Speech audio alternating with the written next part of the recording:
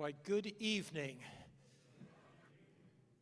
You know, when I see it raining outside and I see you here, I know God's going to give you a special blessing.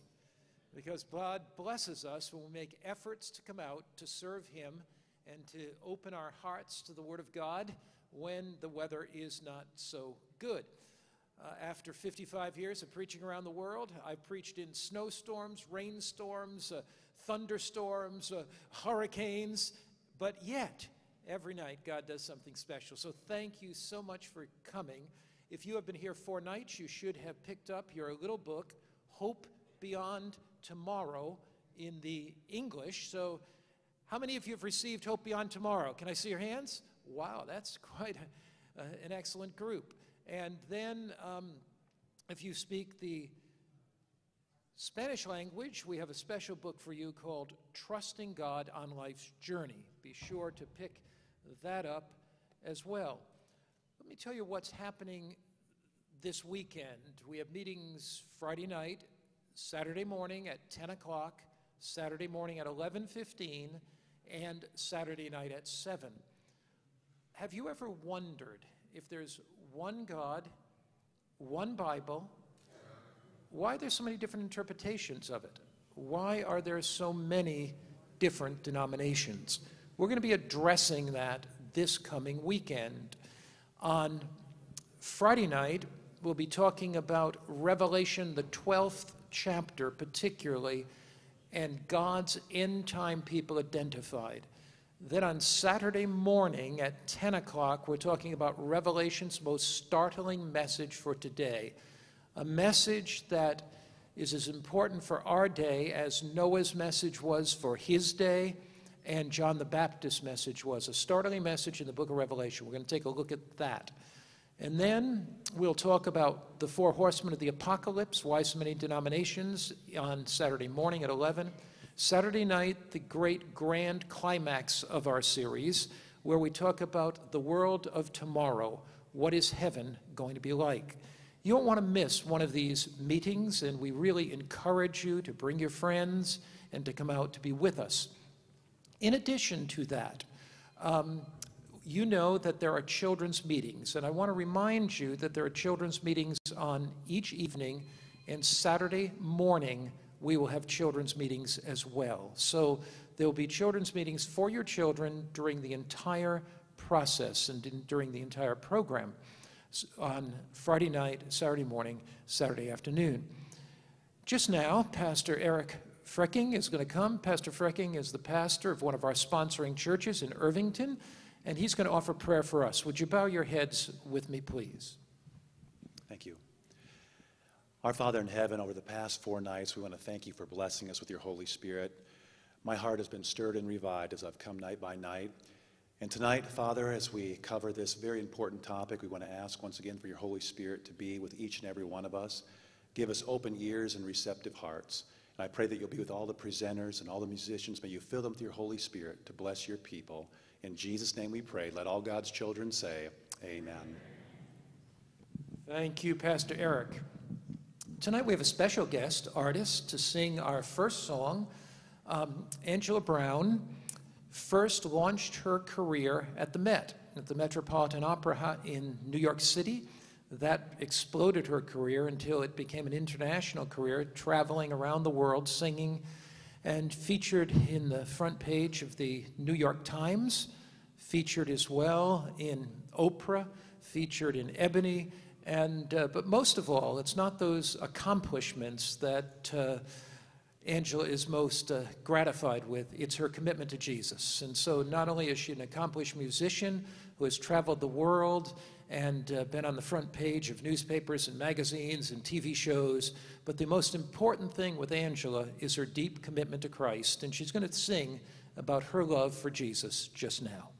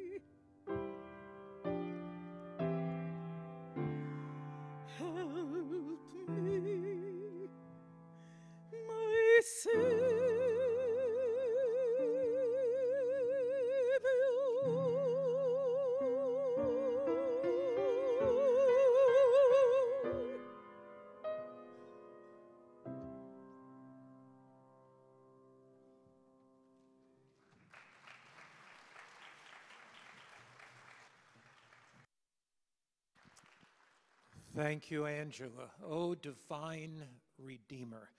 You know, God gives different people different gifts, and to see those gifts used for Christ and his kingdom is really refreshing.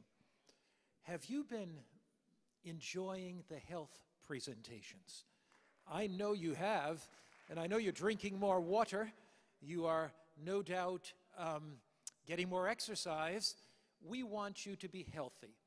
Friday night, for everyone that's here, we're going to give a book out to every called Living Long and Living a Long and Beautiful Life. Let me tell you a little bit about this book. I did not write the book, but I had the joy of editing it. What we did is looked for specialists around the world. We looked for specialists in heart disease, specialists in cancer, specialists in the subject of depression and positive lifestyle, specialists in the area of exercise, interpersonal relationships, and we've got some of those people to agree to write a chapter in the book, and we produced this book based on about 16 different authors that are, many of them world renowned. If you're here on Friday night, we're going to give you a copy of this book free. We want you to take it home. It kind of summarizes everything we've said in the health lectures and provides you with the scientific information behind them. So be sure to be here Friday night. It's the only night we're going to give this book out. It's yours free, and uh, because we want you to live a healthy, happy, longer life. Now, tonight you've got a special treat. Miss Nancy's been speaking some nights. My wife, Teenie's been speaking other nights. Nancy, of course, is Elder Wilson, uh, Pastor Wilson's uh, uh, wife.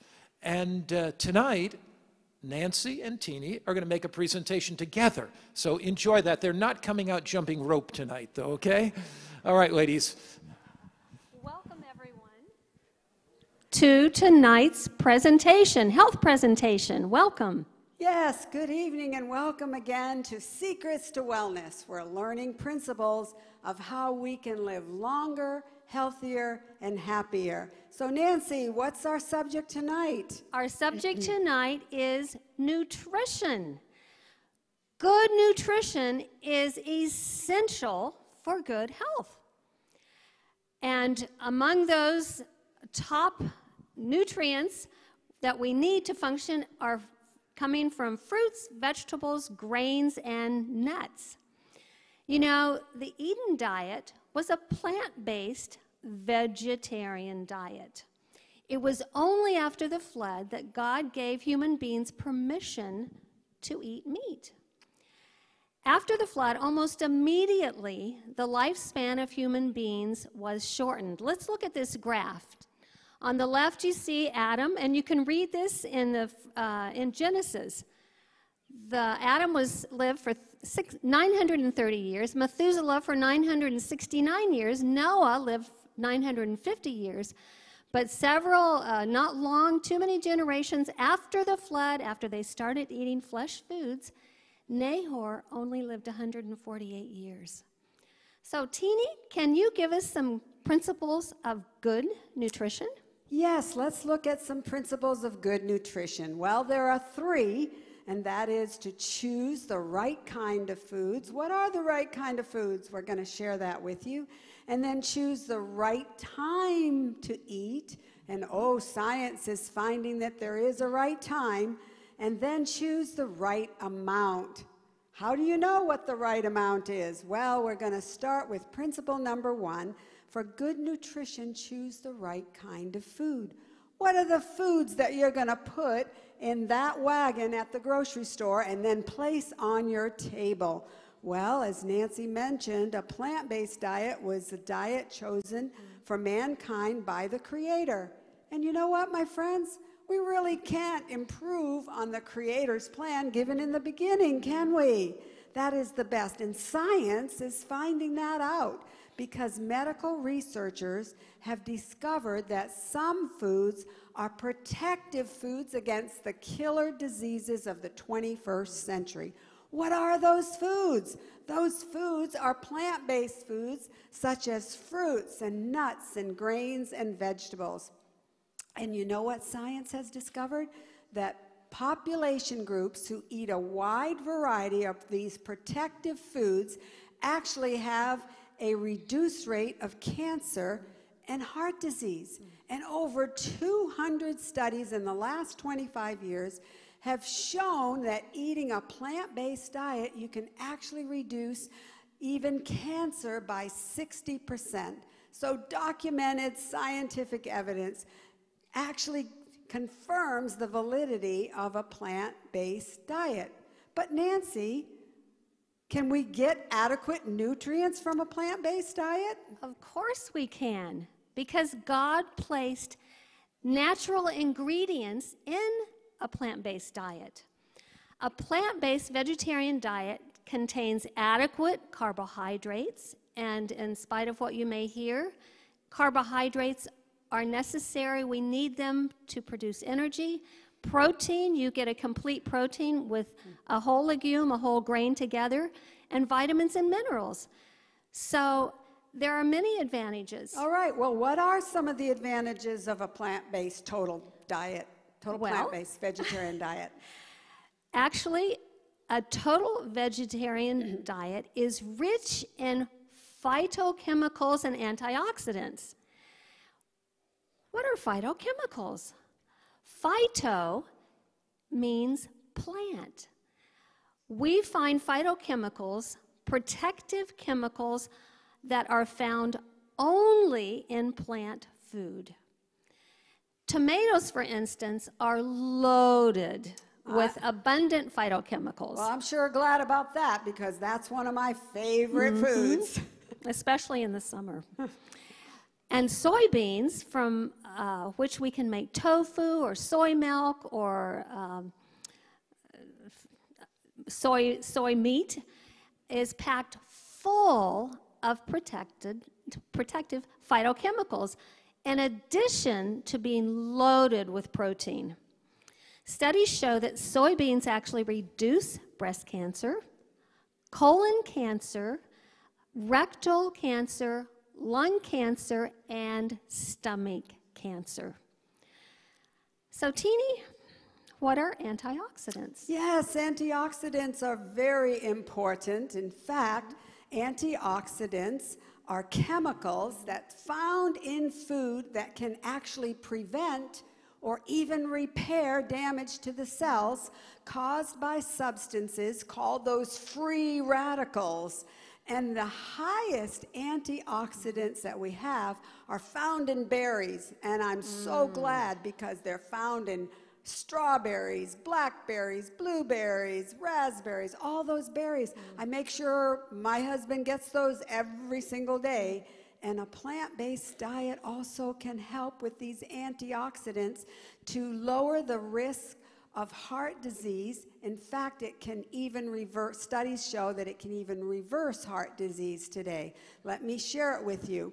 A report titled Plant Based Diet Reverses Heart Disease from the Physicians Committee for Responsible Medicine. And they said this a new research report confirms that heart disease can be dramatically improved, in fact, even reversed by a plant based diet. So we have many, many different advantages, including reducing the risk of cancer. In fact, the World Health Organization's International Agency on Cancer reported this consuming processed meats such as bacon, ham, sausages, and lunch meats is carcinogenic, causing cancer to humans, and red meat intake is likely carcinogenic to humans as well. And so we want to keep you from these diseases. And even Harvard University Medical School is putting out the best diet, and that is vegetables, fruits, whole grains, and healthy protein. And you know, there's always studies going on in nutrition all the time. And recently, my husband gave me this book, this last Christmas, called The Future of Nutrition. And it's by Dr. Campbell, who wrote this China study. And he points out that scientific evidence is that a whole food, plant based diet is the very best for us. In fact, he has a theory called the constitutional theory that says the most convincing evidence of cancer's association with lifestyle and environment was illustrated by the effects of migration on cancer risk. And the most common hypothesis was that excessive nutrition, and that was particularly with meat and other high protein animal products, was responsible for cancer. So these are things that we can do to keep us from these dreaded diseases. In fact, as early as 1902, health educator Ellen White said, cancers, tumors, and pulmonary diseases are largely caused by cancer. So we don't want you to get these diseases. And that's why we're promoting what science is promoting on a plant based diet. But Nancy, there are some other advantages to a plant based diet. Tell us about another one. One of the big advantages, well, among many others, of course, in a plant based diet is that it contains alkaline forming foods. The right kind of food is primarily alkaline forming. In fact, the best diet should consist of at least 75% of alkaline forming foods. Here we see an example. What are some alkaline forming foods? Well, fruits and vegetables, lentils, and we had lentils today. Seeds and some nuts are all alkaline forming foods. The typical Western diet is acidic forming. Acidic forming foods include meat, fish, poultry, eggs, processed foods, desserts, and fast foods. Now, that's not including healthy desserts, though. If we have some good fruit for dessert or some good fruit balls, That's then- right. then we can have some good healthy desserts. Many health pro- problems today are associated with our body being too acidic. In fact, let's look at this normal cell on the left side. And let's look at the cell on the right side. The high acidic forming foods produce free radicals, and this is what we see in this right cell. The cell damaged uh, is, is damaged by the free radicals in our diet. So, these free radicals set the stage for cancer, heart disease, other diseases, and premature aging. But let's look at something else, Nancy, that is so and so much of an advantage with mm-hmm. plant-based foods. It has no cholesterol. Plant-based foods have no cholesterol, mm-hmm. but animal foods are high in cholesterol. And for good nutrition, we need to reduce that cholesterol intake. Even eggs are one of the yolk of the egg is one of the highest sources of cholesterol known to man. And in fact, the Heart Association says if you do use the yolk of the egg, don't use more than two or three even in cooking every week. Mm-hmm. And Dr. Neil Nedley, he's a medical doctor and he does a lot of scientific studies as well. He put out a book called Proof Positive, page 29, and he says this a high intake of cholesterol, which is present in meat, eggs, and dairy products, has also been linked to an increased incidence of cancer in several studies. And so we know that a high fat diet, high cholesterol diet, contributes to both cancer and heart disease. And look at some of the new studies. In an article titled Animal Protein Linked to Death by Thomas Campbell, who was the son of Thomas Campbell, who wrote the China study, says this. This is fascinating, my friends. Those that consumed the most animal protein compared to, pla- pro- to plant protein had a higher risk of death, not just the disease, but death, particularly cardiovascular disease.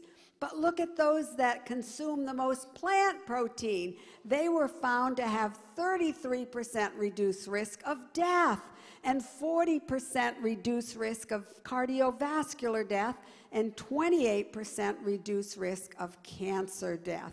And so, In this study of the constitutional theory, Dr. Campbell says in our experimental animal research, we found that increasing the carcino- carcinogen dose caused a linear increase in the formation of mutations, but they expected that. But that those mutations only developed into cancer when they were promoted by eating animal protein. So there are so many things, my friends, that we can do to reduce, reduce these killer diseases. So let's look at all the advantages of a total vegetarian diet. It lowers blood cholesterol, lowers high blood pressure, lowers risk of certain cancers, lowers the risk of osteoporosis, improves diabetes, enhances vigor and endurance, and if you want to live longer, then you can do that on a plant-based diet. So Nancy, that's at least a few things on principle number 1, but what's principle number 2? Principle number 2 is eat at the right times. But what are the right times, Teenie? We need to establish regular eating times. Eating, whether you eat two or three meals daily, we need to do those at regular times and eat nothing in between. They've done some longevity studies recently, and one of the factors is no eating between meals. This allows the adequate time between meals to give your body the opportunity to properly digest the food from the previous meal. Uh, scientific breakthrough, breakthroughs prove this when it comes to nutrition that timing is very important. When you eat, when you eat is as essential as what you eat for the maintaining an ideal weight, preventing some diseases, and living an energetic, longer, happier life. And you know, this is something that I don't think many of us uh, knew years ago. That, that it is so important to have regularity, not only in sleeping, but in our eating. They are doing some new studies, and I'm sure if you have been interested in health, this has come out just uh, in the not too distant past but uh, there are new guidelines for setting our food clock. And it's a new way of eating. And this uh, is from National Geographic and Dr. Michael Rosen. Eat in chorus with your circadian rhythm. This biology is determined by the light. Your body wants to eat when the sun shines and fast when the sun sets. So, what does that mean? That means that breakfast is the most important meal of the mm-hmm. day. That's what it means, my mm-hmm. friends. Mm-hmm. That's right. Because when you wake up in the morning, it's time to break the fast of not eating preferably at least since 12 hours before. So your body is needing that, those nutrients, it's needing to eat. Morning, uh, your breakfast should actually be uh, your largest meal. Dinner in the middle of the day should be very substantial, and supper and your evening meal should be the lightest meal of the day because you don't want to have a full stomach when you go to sleep at night because it interferes with the quality of sleep. So we say eat breakfast like a king, lunch like a pauper or dinner, and supper like a pauper. Luigi Fontana, a physician and co director of the Longevity Research Program at Washington University in St. Louis, has told us has found out from his research that fasting for as little as 16 hours could improve some health measures and counteract disease processes. Eating in a six hour window and fasting for eight hours may help you live longer. Abstaining from food for 16 to 18 hours a day could be key to treating a variety of health conditions. So, what that basically means is mm-hmm. try to eat your lighter meal in the evening and your mm-hmm. big meal at breakfast. And so, I'll tell you, you need to jumpstart your day with breakfast, a good breakfast.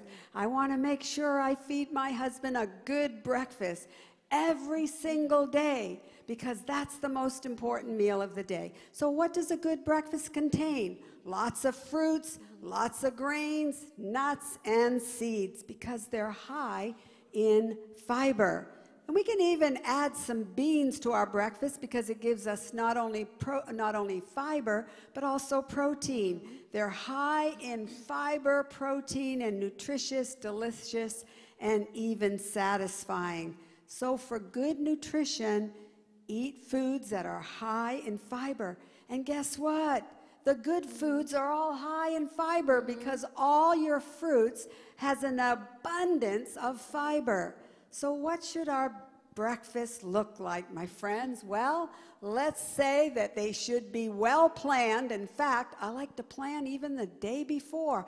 And I set the table even the night before because I want to be ready for that good breakfast. It should be nutritious, so it should have some good fruit and some grains and even some nuts and seeds. Because do you know, men, you can reduce your, your heart disease by 50% if you eat some nuts in the morning, just a handful of nuts five times a day, five times a week. And then uh, you have it simple and easy, attractive, full of variety at regular times, as Nancy mentioned. And then lots of color. Color spells nutrition. So, Nancy, how are we going to do this? Is it possible to plan a good, nutritious meal on a plant based diet? It is, Teenie. It's very possible. And you see this beautiful plate here. It has all of the nutrients you need. But, Teenie, do you have any ideas you could share with these folks if they want to try planning a, a plant based meal? Well, I know I have written a cookbook, and in that cookbook, we have loads of recipes and lots of plant based uh, foods for breakfast and for dinner and for a light supper. You see, plant based vegetarians have plenty of healthy breakfast choices and other choices. In fact, let's give them a few of these choices, Nancy. What about having some applesauce on toast with some protein of peanut butter? Have you ever done Oh, that? it's wonderful. Take whole grain bread, put it in the toaster, get some natural peanut butter, spread it on the toast.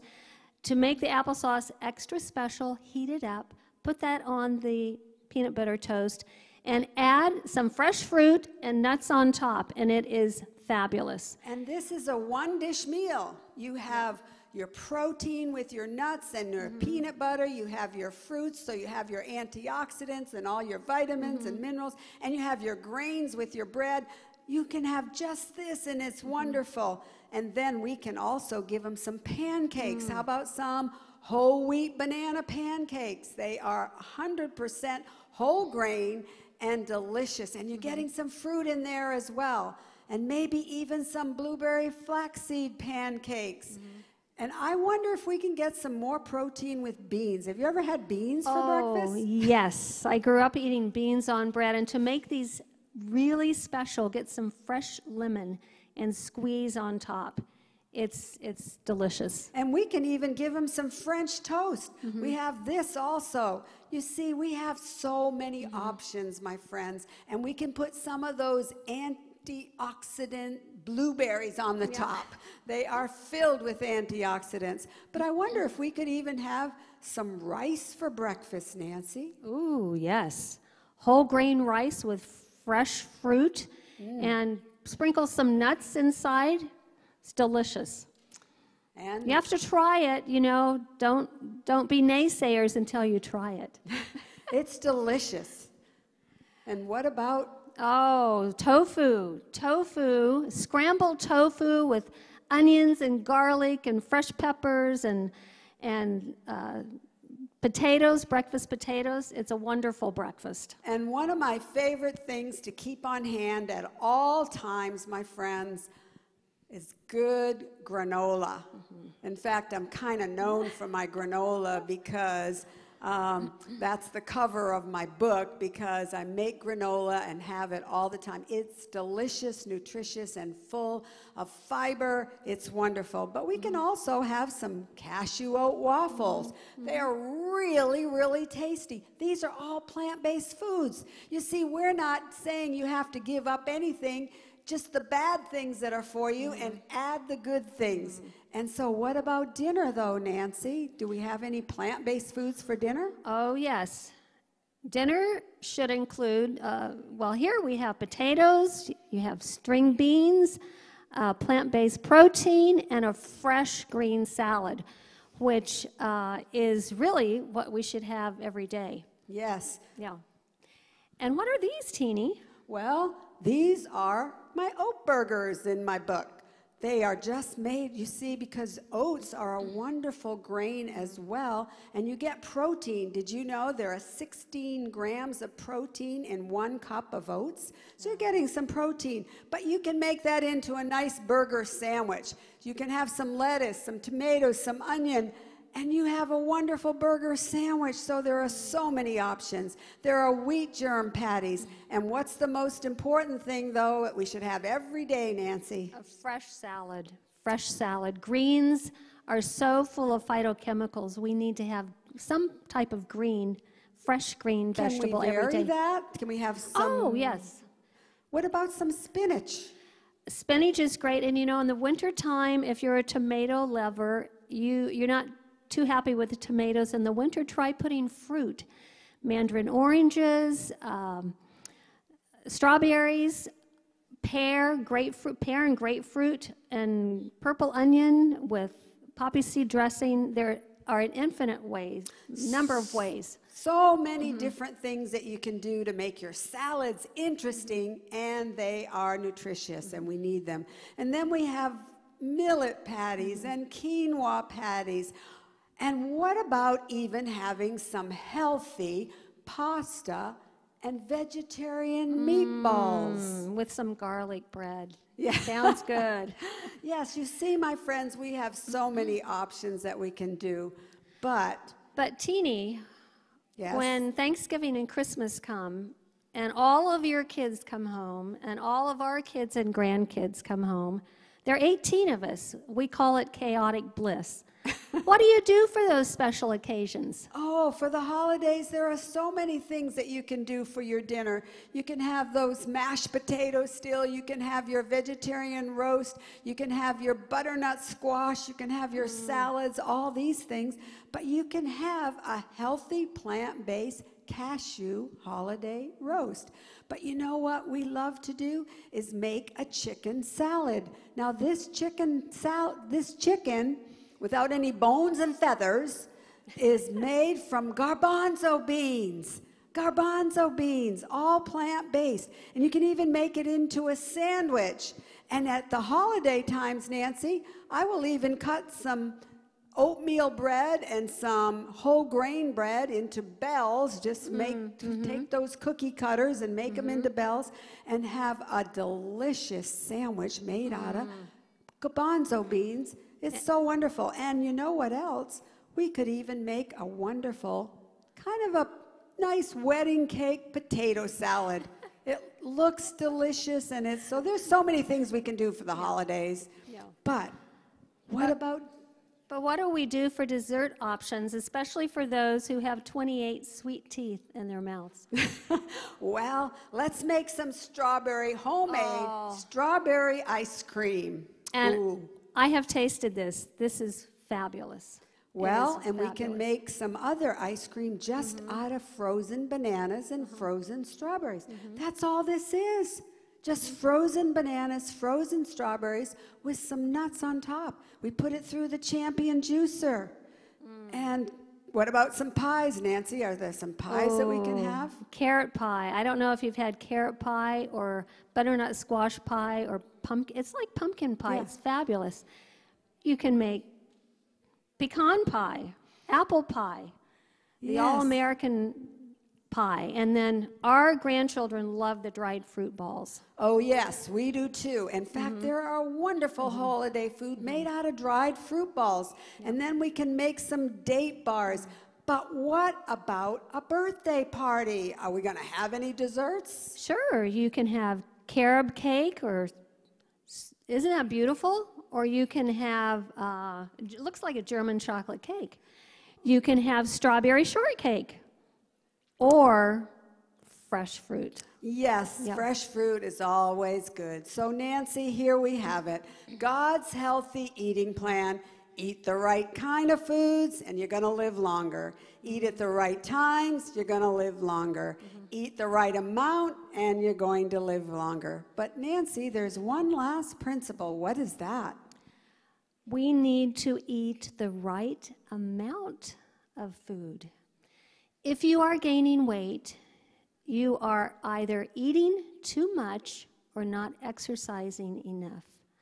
If you are losing weight and you're at an ideal weight, you need to eat a little more because it's better to stay at an ideal weight and not get too thin because when you get sick, you don't have any reserve. But, Teenie, do you have a prescription for the people this evening? I do. Here's our natural prescription for tonight eat every day a wide variety of fruits, nuts, grains, and vegetables. And you know what? You will be healthier, you will be happier, and you will live longer. So may God bless you. As you choose Choose God's God's way, way. because God's way way is, is the- always the best way. Yes. God bless you. Thank you, ladies. Are you feeling energetic? Are you, you know, when you make changes in your life, you can't make those changes all at once. And so, as a result of that, what we encourage people to do is start moving more toward a diet that is whole food diet. And you don't go home and throw out all the bad things because then you'll go looking for them the next day. But you begin step by step trying to have a better lifestyle. Remember, if you're here Friday night, we're going to give you a book called Living Long and Beautiful Life. It is the only night we're going to give it out. It summarizes by major health providers throughout the world these great health principles that we've been talking about every single night. It's yours free. We want to give it to you as a gift. Each evening, Charles Haugabrooks has come, lifted our spirits, encouraged our hearts, and given us music for the ages. Charles, thanks so much again for singing.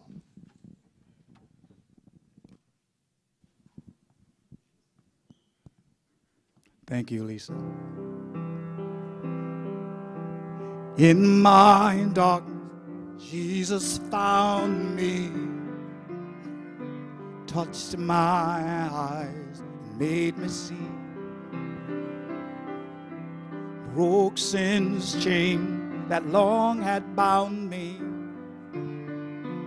gave me life and liberty. Oh, glorious love of Christ, my Lord divine, and that made him stoop to save a soul like mine. Through all my days and then in heaven above, my song will silence never. I will worship him forever and praise him for his glorious love.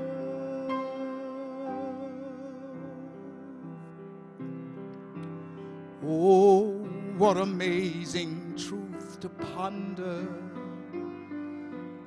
Ye whom the angels host attend, Lord of heavens, God's Son, what wonder that he became the sinner's friend. Oh, glorious love of Christ, my Lord divine,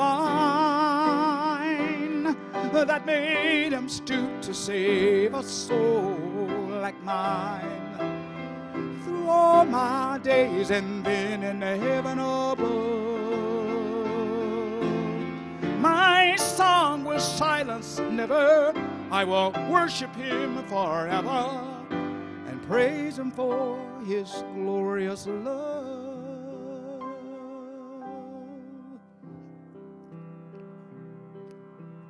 In my darkness, Jesus found me, touched my eyes and made me see. Broke sin's chain that long had bound me, and it gave me life and liberty. Oh, glorious love of Christ, my Lord divine, that made him stoop to save a soul like mine. Through all my days and then in heaven above, my song will silence never. I will worship him forever and praise him for his glorious love. My song will silence never. I will worship him forever and praise him for his glorious love. And praise him for his glorious love. I'll praise him for his glorious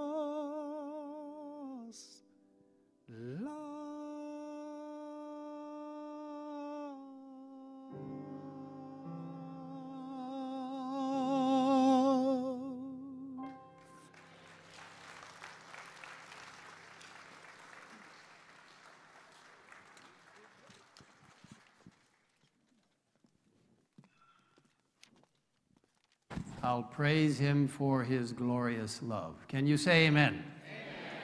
That's what we're here tonight to do. Thank you.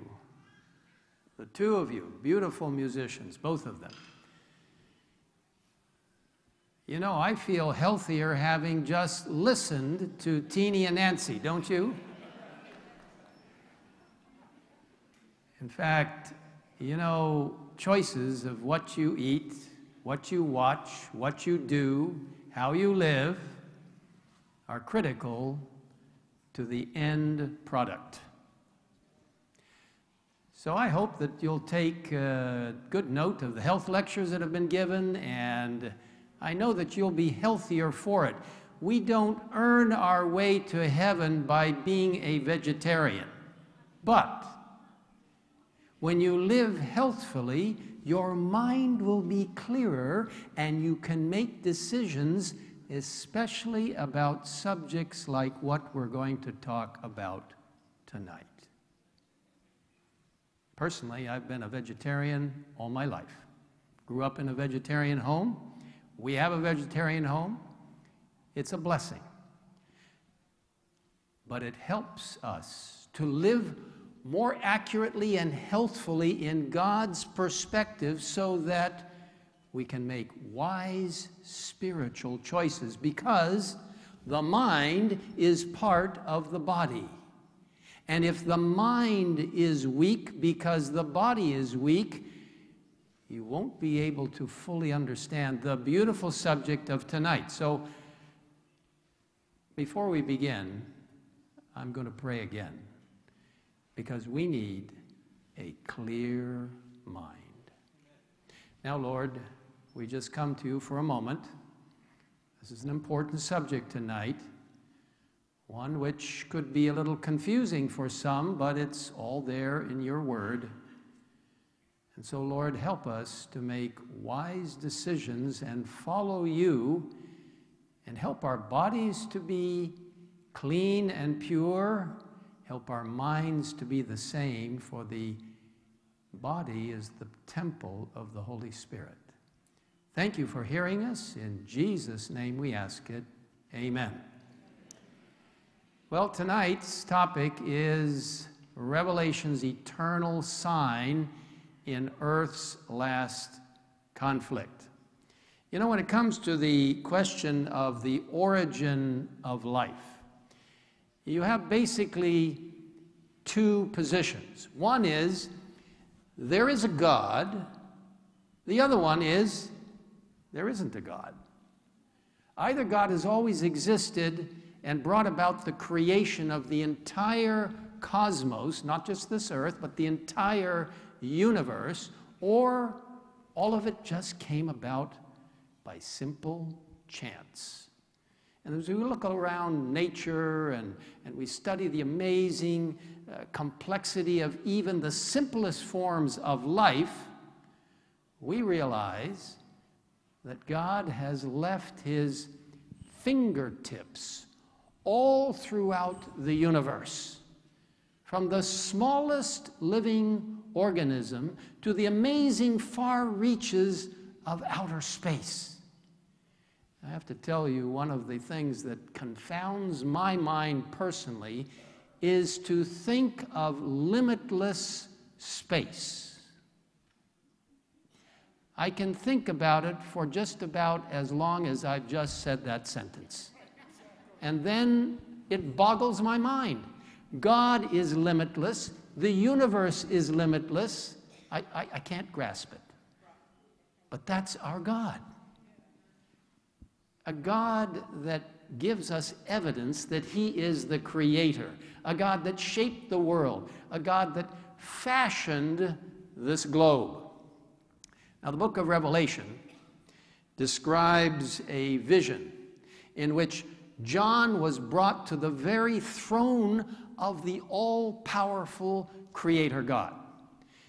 Here in this vision, in Revelation chapter 4, we find a clarion call, a bold call for men and women living in earth's last hour to return to the worship of the Creator God turning people back to the true worship of God. Revelation chapter 4 and verse 1.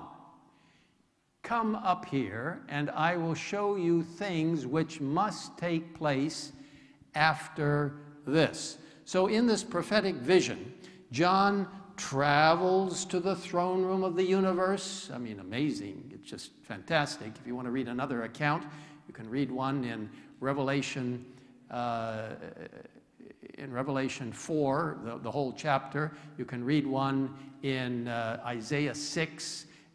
Absolutely incredible, the throne room of God. And then he hears these sounds of praise. And Revelation 4 is magnificent in helping us understand really true worship.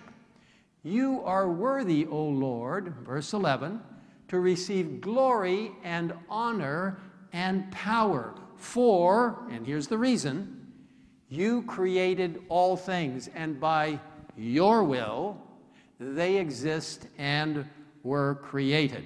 So all of heaven sings this magnificent song to the Creator. Now, some scientists may not know how life arose or how the universe got here. But all of heaven knows because all the angels sing, You are worthy, O Lord, to receive glory and honor and power, because you created all things, and by your will they exist and were created. So they weren't just created, but they exist. Our very breath and life this evening in the Warren Performing Arts Center is because God has given you that life. He nurtures it and He continues that life. We did not evolve out of some cosmic accident, but we were created by a loving, caring God, created in His image. Now, before you existed, even in the womb of your mother, you existed in the mind of God. Uh, that, that's, that's a profound thought. God fashioned you, God shaped you, God created you. The book of Revelation calls humanity back to worshiping the Creator. Now, there's an answer to the question of human origins. It's found in the book of Revelation. It's part of his end time message for all people. Revelation calls us to, and here it is in Revelation 14, magnificent chapter, verse 7 Fear God and give glory to him, for the hour of his judgment has come, and worship him who made heaven and earth, the sea, and springs of water. In an age of evolution and the preponderance of many individuals believing in evolution, God sends a message to the entire human race calling us to worship the Creator, not our own figment of imagination as to how we got here. No, this is a message for all of us. All of us here in this beautiful auditorium in the Performing Arts Center, and those of you watching worldwide through live streaming. It's not a message for just one religious group or perhaps one other. It's, it's not a message for a denomination, just one or another. It's God's final call to His people to worship the Creator. Well, how do we worship the Creator of heaven and earth? And how does He remind us of this creative power? At creation, did He leave us a symbol, a reminder of what this special creative authority sign was? Revelation is the book of endings, all right? It's the last book in the New Testament and in the Bible itself. We can only understand the book of the endings if we understand the book of the beginnings. We'll only understand the significance of the monumental issue in today's world if we understand the events at creation. So, Revelation's final call to the entire human race to worship this Creator God, our Creator God, has its origin in Genesis, the first book of the Bible, the book of beginnings. This theme of true worship, remembering the Creator, is a common thread throughout the entire Scripture. It's one of the most important themes of the Bible.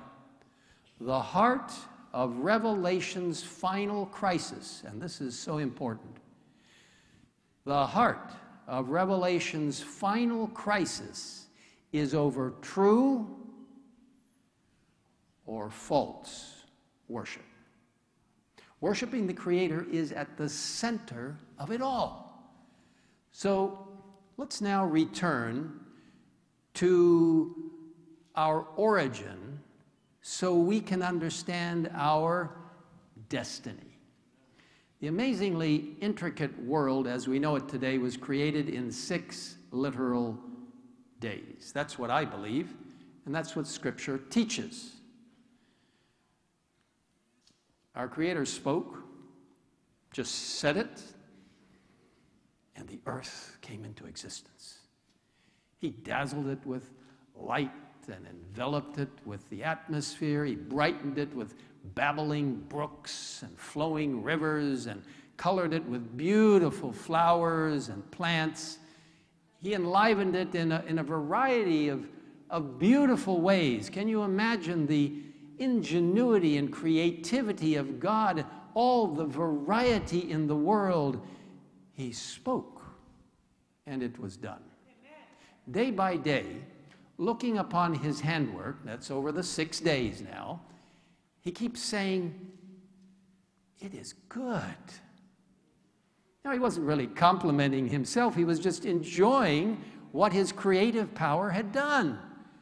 And then came the crowning act of creation, turning to the Father The Creator said, Genesis chapter 1 and verses 26 and 27, let us, that's a beautiful word right in there, that, that pronoun, let us, God the Father, God the Son, God the Holy Spirit, let us make man in our image.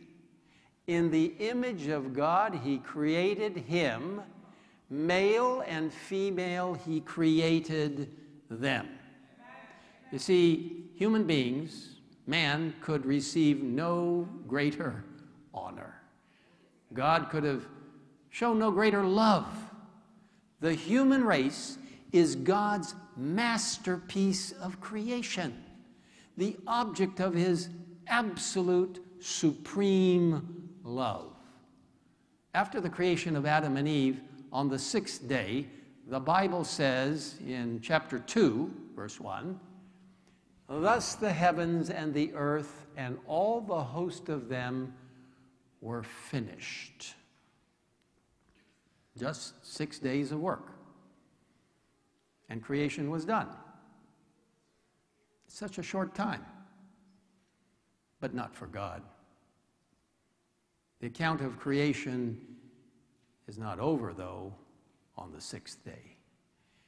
The second and third verses of chapter 2 indicate the following And on the seventh day, God ended his work which he had done, and he rested on the seventh day from all his work which he had done. Now, you might ask the question God rested? I mean, was he tired? All he did was speak, and it happened, although with human beings he formed us out of the dust of the earth. That took a little effort, but that's not something to necessarily get tired about. It really was because he was pleased with his accomplishments over the earth's first six days. Then God did something especially significant. Let's look at this now in a very careful way. Then God blessed the seventh day and sanctified it, because in it he rested from all his work which God had created and made. Now, the seventh day Sabbath, given at creation, was to be God's perpetual reminder of our roots, our origin. Now let's look at three specific things about the seventh day. Remarkable things, things that will shine out to us as we look at them. First of all, God blessed it. The Bible says God blessed the seventh day. He made the seventh day as an endless fountain of spiritual refreshing for his people for all time to come. Secondly, God sanctified it. That means he set it apart. When you sanctify something, when you, when you place it in a unique relationship, you set it apart as a holy day a special time every seven days to continually remind you of your beginnings, your origin, where you came from, your roots, why you're here. Then, thirdly, it says, God rested on it.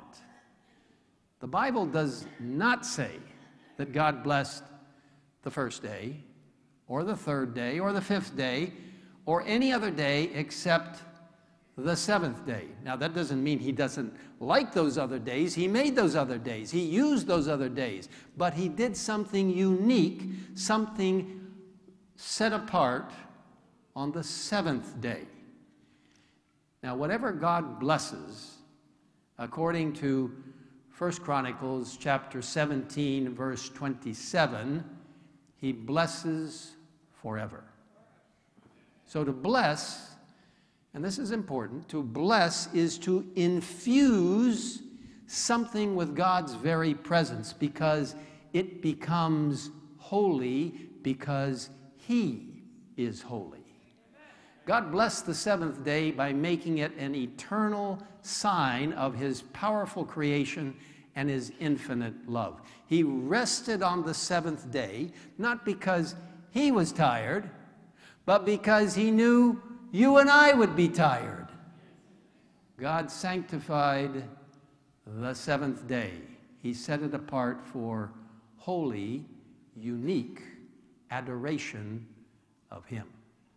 Now, the word sanctified, and, and this is going to be an interesting um, illustration. I really love this illustration. It's just so right to the point. The word sanctified is the word that's used by God for the marriage ceremony. And what a privilege it is to have a precious uh, husband or wife, a spouse. My, my wonderful wife, Nancy, I'm not going to embarrass her too much, but she's precious. And this is, the Lord has, has set us apart as a couple, just as those of you who are married know. So, this marriage ceremony is when one woman is set apart or sanctified for one man. That's the Bible, the, Bible understanding. Now, here's this illustration, and I like it. Let's suppose a man gets married, and the woman he marries has, get this, six sisters. After the ceremony, the man is waiting in the car to head out on the honeymoon. One of the sisters of the one that he married slips in beside him in the car and tells him, now this is one of the sisters, she says, Let's go. And he looks at her in absolute amazement and semi horror, and he says, I didn't marry you, I married your sister. And her reply is, Well, what difference does it make? I'm, I'm one in seven. Does it make any difference? It certainly makes a difference to the two who got married. There was one who was sanctified or set apart for him, and it wasn't that sister. All women are not the same.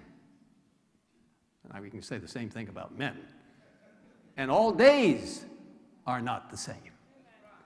Now, the Sabbath was created, and this is important, 2,300 years before the existence of the Jewish race. Keep that in your mind. It was given to our first parents, Adam and Eve, in the Garden of Eden. The Sabbath was set aside at creation as an eternal symbol of God's creative power for his people in all ages. When Adam and Eve left the garden, the Sabbath remained as a reminder of God's eternal love. Exodus 16, we read the remarkable story of the falling of manna. Manna is that substance which God produced, fell from heaven every day, and it was to sustain the children of Israel in the wilderness where, the, where Mount Sinai is and the whole Sinai Peninsula. I've been there. I grew up in Egypt and Cairo myself. Love Egypt and I love the Middle East.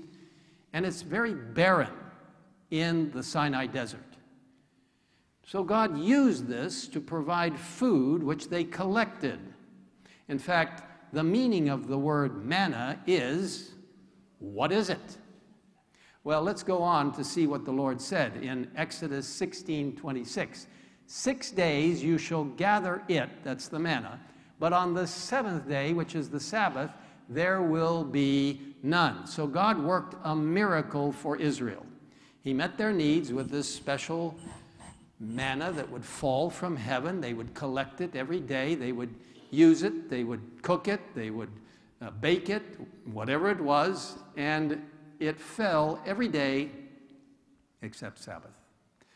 if the Israelites gathered more than they could eat, the leftover portion would spoil. When some Israelites went out to gather manna on the Sabbath day, God said, How long do you refuse to keep my commandments and my laws? Well, on Mount Sinai, God wrote with his own finger on tables of stone the Sabbath commandment. He didn't write these commandments in the sand to be just washed away. He didn't write them on parchment to be consumed in some fire. God did not write the Sabbath command on a little piece of paper hidden in a corner. God wrote it on tables of stone. He wrote the law to endure forever. God didn't even entrust Moses to write it. Moses wrote the Pentateuch, the first five books of the Bible, but God wrote the Ten Commandments with his own finger. Now, let me ask you something. If the Bible, if in the Bible, there's only one set of laws written with God's own finger, if God wrote them on tables of stone, can we turn our backs on the eternal law of God written with his own finger? Well, the Bible says this, and this is the fourth commandment in Exodus 20, verses 8 to 11. Let's read it. Remember the Sabbath day to keep it holy. Now, we can keep holy only what God makes holy, all right? Human beings can't make things holy. God made the Sabbath day holy and He blessed it at creation, He sanctified it. And so then He began that commandment with one word. What did it say? Remember. Why did God say to remember? Because He knew we would forget. In fact, it's the only commandment that says, remember, starting out, remember. He knew in an age of evolution, men and women would forget the Sabbath and their origins. So God said, Remember the Sabbath day to keep it holy. God is calling us back to an eternal sign of creation. Six days you shall labor and do all your work. But the seventh day is the Sabbath of the Lord your God. In it you shall do no work. Now, notice he doesn't say a seventh day is the Sabbath. He says the seventh day is the Sabbath. And just as the day before your birthday and the day after your birthday do not commemorate the day you were born, the Sabbath is very specific. The first day, the third day, the fifth day, doesn't matter. They, they, they don't commemorate the birth of the earth by the Creator God. That's why we are to worship on the seventh day. Exodus 20, verse 11. For in six days the Lord made the heavens and the earth, the sea, and all that in them is in them, and rested the seventh day. Therefore the Lord blessed the Sabbath day and hallowed it, or blessed it, or made it apart, separated from the others. So the Ten Commandment law quotes Genesis and leads us back to when God created the earth. The Sabbath was never exclusively a day of worship or institution for the Jewish people. It was given for all humanity. You see, the Jewish nation was to be God's special emissaries and missionaries at the crossroads of the world, and they were to share this message with everyone.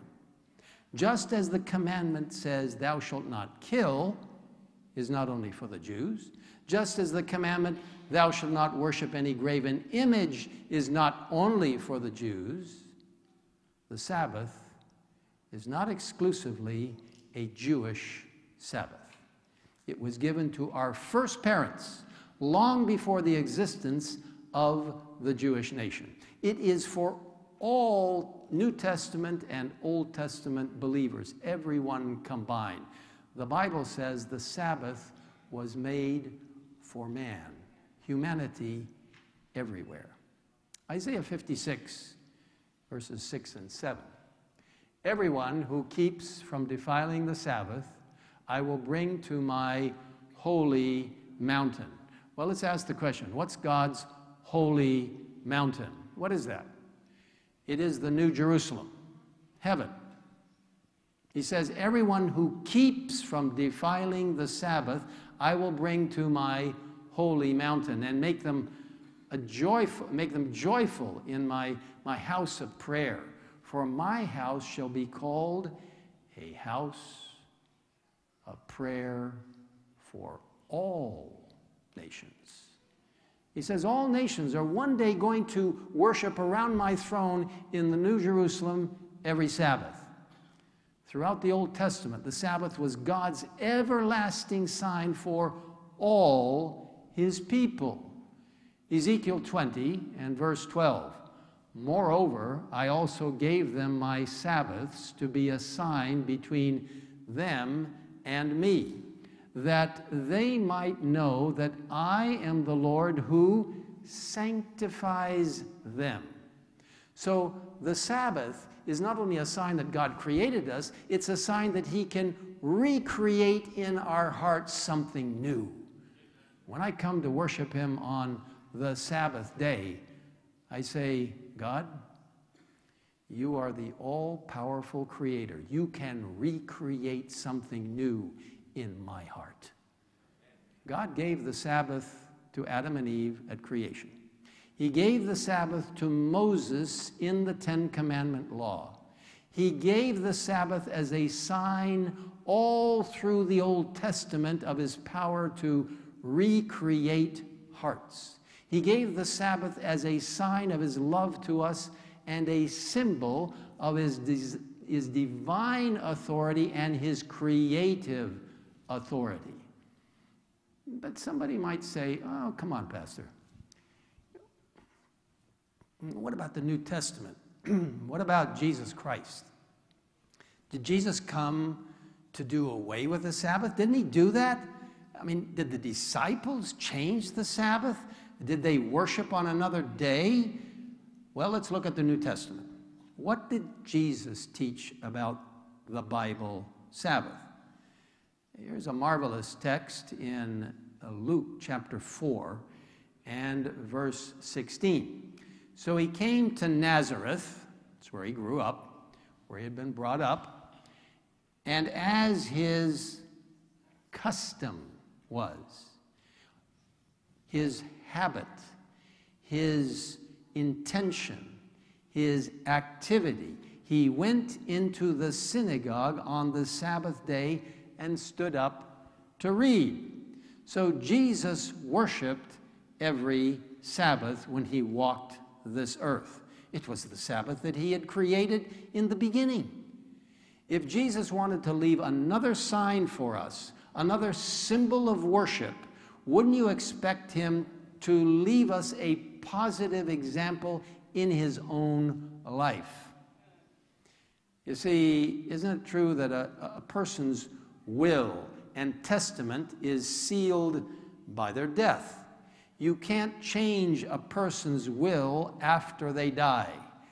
And Christ's will and testament was sealed at his death. But the legacy of his life was and we look at this again. As his custom was, he went into the synagogue on the Sabbath day and stood up to read. Indeed, Christ kept the Bible Sabbath.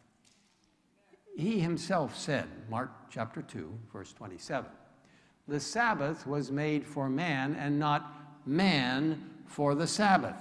Now, he doesn't say the Sabbath was made for only Jewish people. It's for Jewish people, yes, it's for everyone. The Sabbath was made for man, it was made for all humanity. The Sabbath was made for the Jews and Gentiles alike as a sign of God's creation and His ultimate authority. It's a sign that we worship Him exclusively. It's a sign that we worship Him supremely with all of our hearts. We were not made for the Sabbath, the Sabbath was made as God's gift to us. Adam and Eve were made first. The Sabbath is God's gift to the human race, and Adam and Eve enjoyed that first Sabbath. Every Sabbath, we flee from the stresses of life to his palace in time. The tensions of life seem to evaporate because we don't work on the seventh day. The Sabbath is an eternal sign that he created us. We are to remember where we came from. Even in death, Jesus Christ kept the Sabbath. Jesus' closest followers rested according to the commandment. They wouldn't even embalm his body on the Sabbath day. Jesus rested on the Sabbath before he was resurrected on the first day of the week, which is Sunday. Jesus kept the Sabbath in life, he kept the Sabbath in death. Jesus said, John 14, verse 15, If you love me, keep my commandments. As we've already learned, love leads us to obedience. Love leads us to keep his precious commandments. Jesus told his disciples that even after his death, even after the crucifixion, even after the resurrection, they would be keeping the Sabbath. One day, Jesus gathered his disciples together and he discussed the coming destruction of Jerusalem in that mighty chapter 24 of Matthew. And in verse 20 it says, And pray that your flight may not be in winter or on the Sabbath. Now, what sense would it have made for Jesus to say to his disciples, Pray that your flight or your escape, your running away, would not be on the Sabbath if they weren't going to be keeping the Sabbath? It wouldn't have made any sense at all. Why did he say that? If they were all worshiping on the Sabbath together in one place and the Roman armies attacked the city, what would have happened? Well, the Roman armies would have destroyed them. Jerusalem was destroyed in AD 70, a terrible tragedy that took place. You can read about it and the events leading up to it. This was years after Jesus had already ascended to heaven. Now, some people might say, okay, Pastor, you, you know, you're, you're trying to make some logical sense out of all this. I understand that. But hasn't time been lost over the centuries? How can you know which day really is the seventh day Sabbath today? Well, there are at least three ways that we can know. First of all, you can know it from the Bible. That's what we've been doing so far. Secondly, you can know it from language. Thirdly, you can know it from astronomy. Now, you'll recall that the Sabbath was stated at creation and it was restated in the Ten Commandments given to Moses. Now, it's clear that there was no time lost between Adam and Moses. Why? Well, Adam kept the seventh day Sabbath, and so did Moses. So, all through the Old Testament, from Moses, then, and certainly if people had not been keeping the right Sabbath when God gave the Ten Commandments written with his own finger, he would have corrected them. So you know that has to be accurate. Now, from Moses to Jesus, God's people kept the Sabbath, and the Jewish people are very meticulous about these records. So there was no time lost then. The crucifixion story clearly reveals that the weekly cycle, as we know it, was not changed from Jesus' time until today. Now, let's look at the sequence of days from the Bible. We begin with the day Jesus died. The Bible describes it this way Luke 23, and beginning with verse 54. That day was the preparation, and the Sabbath drew near. And the women who had come with him from Galilee followed after, and they observed the tomb and how his body was laid. Then they returned and prepared spices and fragrant oils, and they rested on the Sabbath according to the commandment. Let's ask this question Were the closest followers of Jesus keeping the Sabbath after he died? What does it say? Yes. They rested on the Sabbath according to the commandment. They did not believe that his death changed the commandment in any way. Now, here we have three days listed in succession the day of Christ's death, which was called preparation, that's Friday, the preparation day for the Sabbath. And then the Sabbath, according to the commandment, the seventh day. Then the Bible says, now on the first day of the week, very early in the morning, they and certain other women with them, and what did they do? They came to the tomb bringing the spices which they had prepared. So let's look at the order of those events. It's, it's really quite clear. You have three days the preparation day, the day Christ died. And what day was that? Friday, preparation day. The next day, the Sabbath, the day he rested according to the commandment. And what day was that?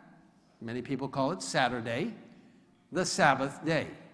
And the next day, the first day of the week, when the women anointed his body.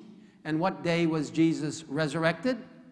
First day, Sunday, the first day of the week. The identity of the Sabbath is very clear from the sequence. Sabbath is the seventh day of the weekly cycle, or the day many people call Saturday. Many Christians have said, but we worship on Sunday in honor of the resurrection. I want to tell you, Christ has given us a symbol of the resurrection. How do we celebrate the resurrection? Romans 6, verses 3 and 4. Or do you not know that as many of us as were baptized into Christ, Jesus were baptized into his death? Therefore, we were buried with him through baptism into death that just as Christ was raised from the dead by the glory of the Father, even so we also should walk in the newness of life.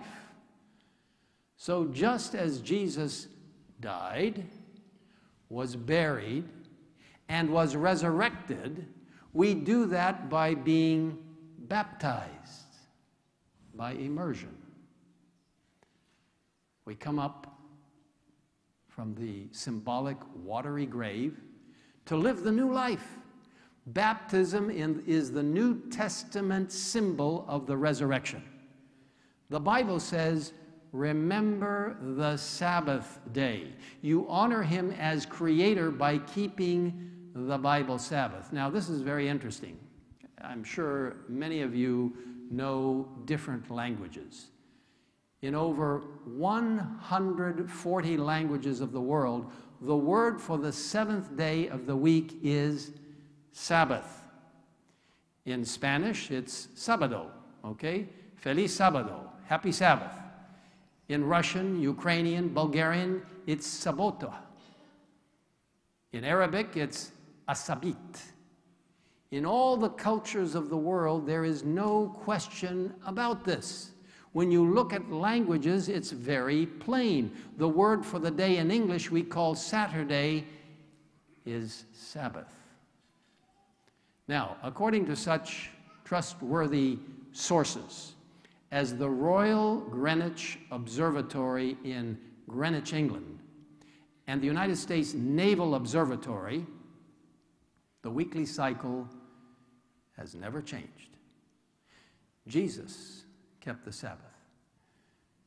Peter, James, John, Paul, other disciples, they kept the Sabbath. Acts 17, verses 1 and 2. They came to Thessalonica where there was a synagogue of the Jews. Then Paul, as his custom was, went into them and for three Sabbaths reasoned with them from the scriptures. So Paul preached about Christ. It was the Sabbath. The interesting thing is that some of the Gentiles were there. So, Acts 13 42 says, the Gentiles begged that these words might be preached to them the next Sabbath. So here's Paul with the Gentiles, all right? These people aren't Jews. He's teaching them about Jesus, and the Bible says in Acts 13, verse 44, on the next Sabbath, almost the whole city came together to hear the word of God. Can you imagine a whole city coming together to praise and worship God? Praise be to God in heaven. I wish that the entire city of Indianapolis would be doing that. That every city around this country and throughout the world, if they did, there would be far less violence, far less tension, far less anger between people because God's presence would be with his people. You see, the Sabbath represents the harmony of the human race. In Christ, we are one humanity. And on Sabbath, we celebrate our oneness. When we come to worship Him on Sabbath, He bonds us together as one common humanity. No more language barriers, racial barriers, economic barriers, social barriers. We are one in Jesus Christ. The disciples kept the Sabbath. Acts 16, verse 13. And on the Sabbath day, we went out of the city to the riverside where prayer was customarily made. And we sat down and spoke to the women who met there. You see, in this city, there was no Sabbath keeping church. So the Apostle Paul met with a group of believers by a quiet river to worship on the Sabbath day. In these last days of Earth's history, and I have to tell you, I believe with all my heart, we are nearing the coming of Jesus Christ in these last days, it's the revelation of Jesus Christ that is being given to the world. Revelation calls us back to the true worship of God. But somebody says, well, I thought Christians now were to keep the Lord's Day. Well, let's see what Revelation says. Revelation chapter 1, verse 10. I was in the Spirit on the Lord's day. Uh, someone says, Oh, I keep the Lord's day. Well, wait a minute. Does this particular text, Revelation 1:10, tell you which day the Lord's day is? You see, human beings may try to define the Lord's day, but Jesus knows better. Let's let Jesus define the words of the Lord's day. Matthew 12, verse 8. For the Son of Man is Lord even of the Sabbath. Mark 2, 28. Therefore, the Son of Man is also Lord of the Sabbath. Luke 6, 5. The Son of Man is also Lord of the Sabbath. Why do you think the Bible includes the same thing three times? Because it's important. Repetition helps us remember. And if the Son of Man is the Lord of the Sabbath, then the Sabbath must be the Lord's day. You see, the Sabbath of the Creator God in Genesis is the Lord's day of revelation. It's the same Creator in Revelation as He was in Genesis. Just as He declared to the first inhabitants of the earth, I blessed, sanctified, and rested on the Sabbath. He calls all humanity, all of us, whether we're in Indianapolis or wherever you are watching right now, calls all of us to worship Him in these end times. He does not change. Here are the last people on the earth. Revelation 14 12. We quoted this text, I believe it was last night. Here is the patience of the saints. Here are those who keep the commandments of God and the faith of Jesus. These are the last day people, the remnant, those who are at the end of time, who are turning themselves through the power of God back to God. They are people who keep the commandments of God, all the commandments, and the faith of Jesus. So now, the Sabbath, given at creation, given at Sinai, kept by his people, kept by Jesus, honored by the disciples, sign of God's power, kept on the new earth.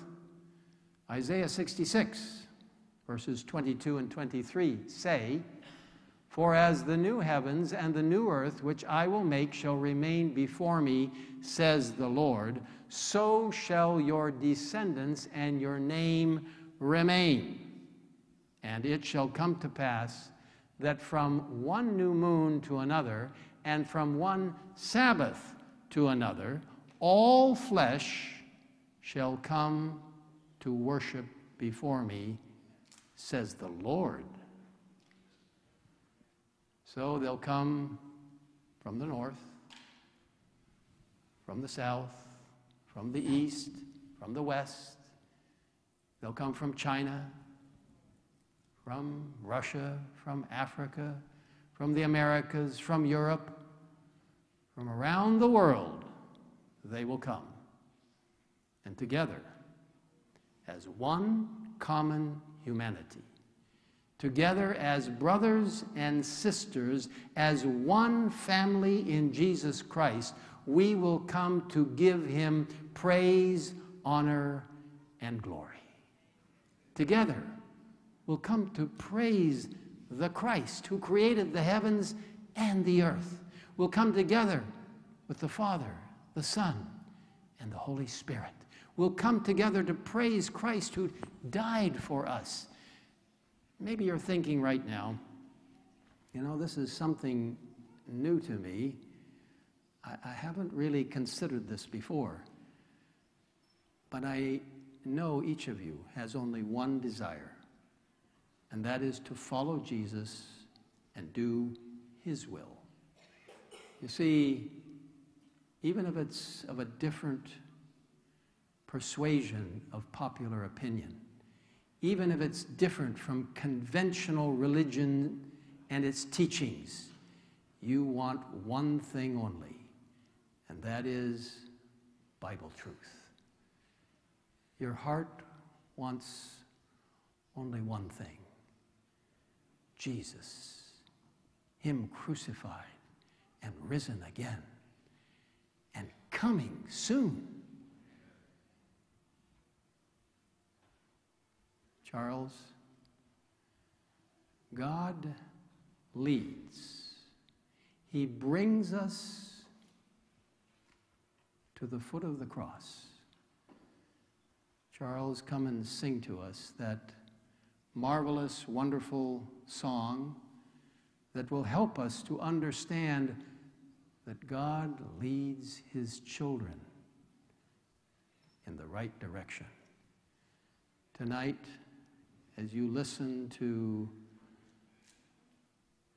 this powerful message, how many of you would like to say, Lord, teach me? No matter what others may teach, teach me to follow you. I want to worship you as Creator and Lord.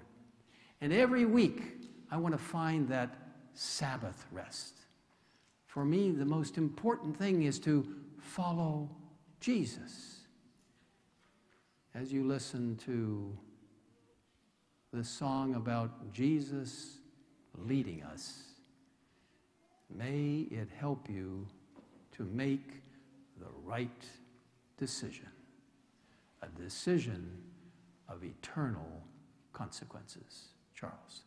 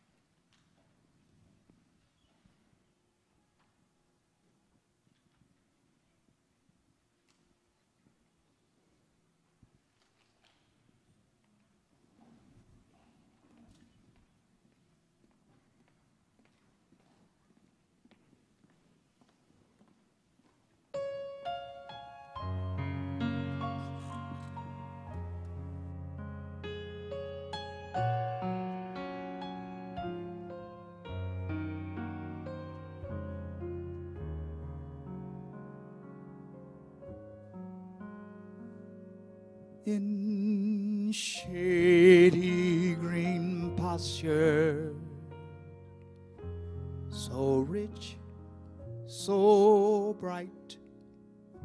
God leads his dear children along where the cool waters flow, bathe the the weary one's feet. God leads his dear children along. Some through the waters, some through the flood, some through the fire, but all through his blood. Some through a great sorrow, but God gives song in the night season and all the day long.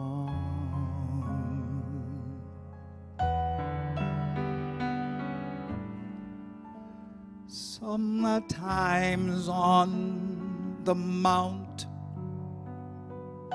where the sun shines so bright, God leads his dear children along. Sometimes in the valley,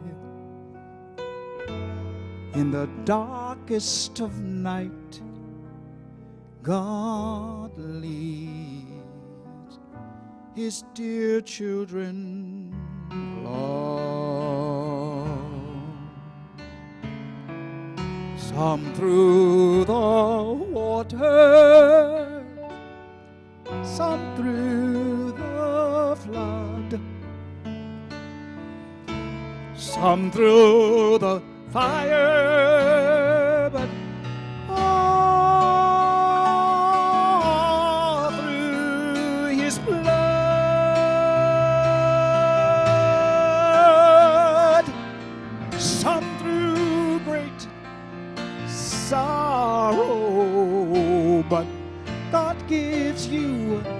a song in the night season.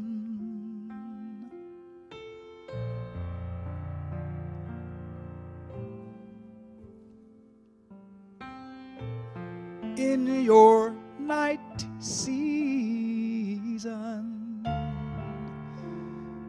God leads his dear children. All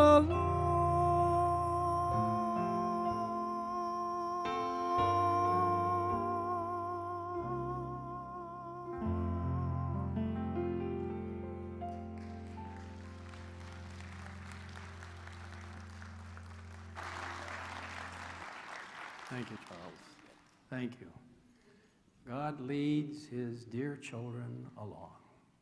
He will lead you, and he will always lead you to full Bible truth. How many of you tonight, even if this, excuse me, even if this may be a little new to you, you haven't thought about it enough, you haven't studied God's Word, and I urge you to do it, but how many of you tonight would just like to signify to the Lord, Lord, I want you to lead me in full Bible truth. Could I see your hands tonight? Amen. Amen. Let's pray.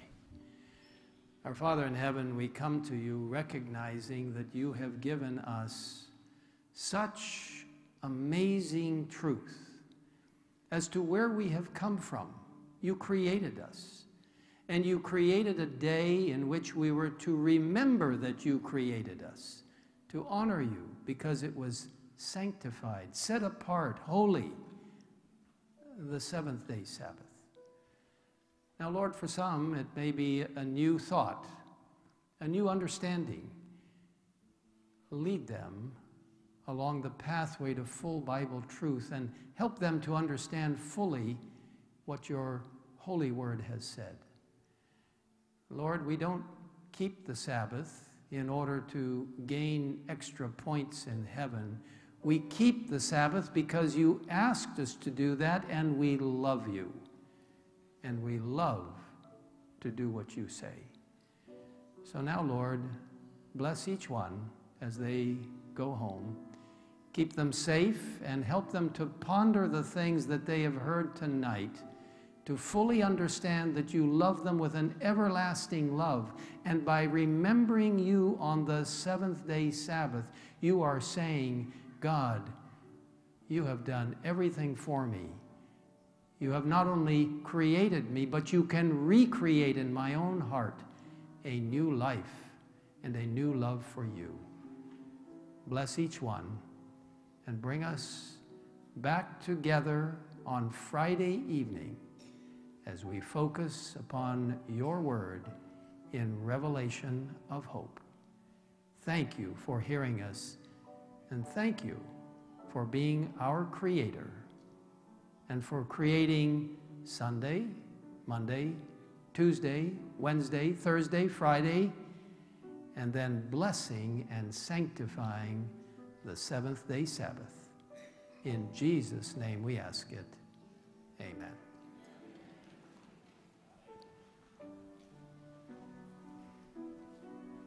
Evening, new meetings, new messages from the book of Revelation.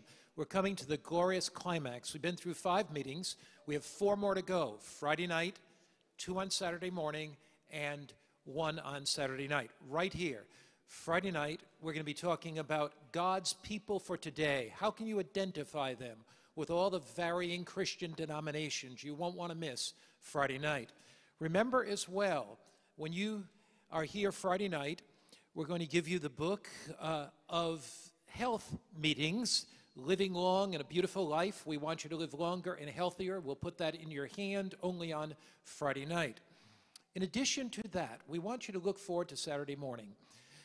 The, we're going to have a wonderful Bible baptism right here. We'll set up a beautiful baptismal pool where we can baptize by immersion.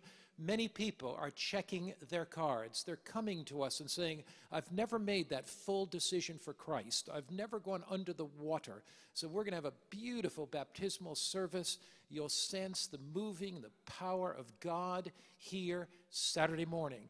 Some people were baptized or immersed once, but they've drifted away and they want to make a real new start. They too will be baptized. So if you're thinking about that, praying about it, certainly talk to us. We'll be happy to counsel with you about it and help you to plan for a beautiful experience with Jesus. Good night. God bless you. We'll see you on Friday night.